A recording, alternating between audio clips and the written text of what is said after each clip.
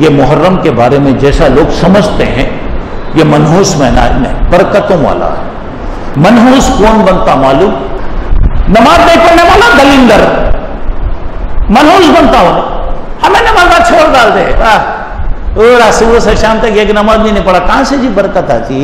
कहाँ से जी घर में सुकून आता कहाँ जी टेंशन खत्म होता कहाँ जी डिप्रेशन खत्म होता कहाँ जी बीपी खत्म होती। अरे अल्लाह कहते हैं, अल्लाह बिजिक्र तत्मिनुल खुलूब अल्लाह को याद करो, अल्लाह तुम्हारे को सुकून देता। अल्लाह को याद करे, अल्लाह को याद करे बगैर सुकून आता।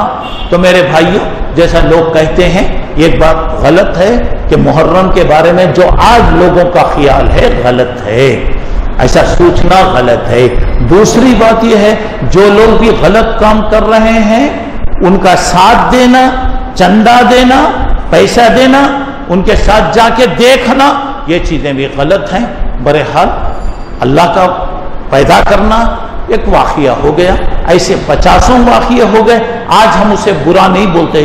तो ये एक वाक़े को बुरा बोलना या उसको रख कर खुशियाँ मनाना, ये दोनों बातें भी गलत हैं। अल्लाह मुझे आपको नेक तोफ़ी अता फरमाए और इसकी कदर करने की अल्लाह हमें तोफ़ी अता फरमाए और इसमें जो भी गलतियाँ, बुराइयाँ जो भी हैं, ये सारी चीज़ों से अल्लाह मुसलमानों को बचने की तोफ़ी अता फरमाए। आमीन।